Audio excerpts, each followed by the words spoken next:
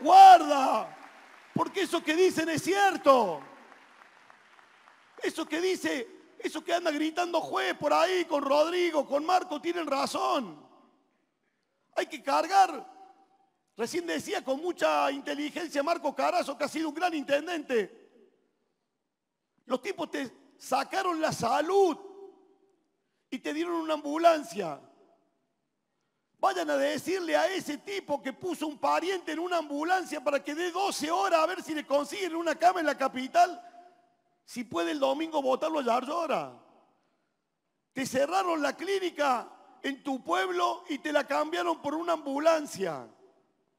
Que si llegás con vida a la ciudad y conseguiste la cama, es todo lo que el Estado te va a ofrecer. Entonces cuando decimos esto, la gente dice, en un momento nos miraban como diciendo, no, pero la circunvalación, juez, ¿cuál es tu ícono? Me decía el otro día un vecino, ¿cuál va a ser tu ícono? El de Schiaretti y la circunvalación. Ya está. No esperen que hagamos la cuarta mano la circunvalación.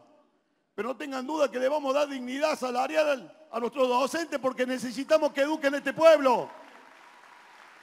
No esperen otro puente más sobre el camino San Carlos.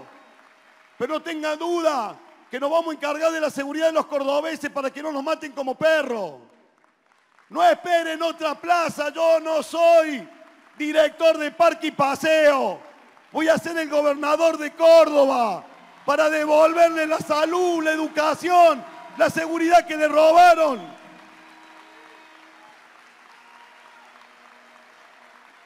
Hablemos de los temas que hay que hablar en Córdoba. No me vengan con cosmética. No me vengan, y perdónenme, señora, no me vengan con boludeces. 25 años con cosmética.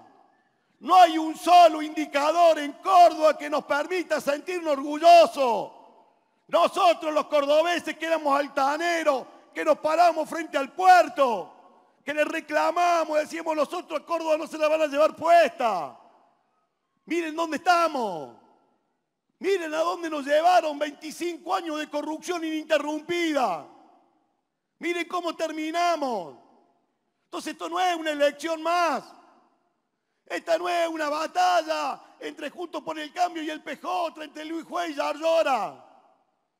Esta es la pelea por el futuro. Lo reitero, lo digo, lo vuelvo a repetir. Nos robaron 25 años a nosotros. No le regalemos 20 años más de nuestros hijos. No se lo merecen.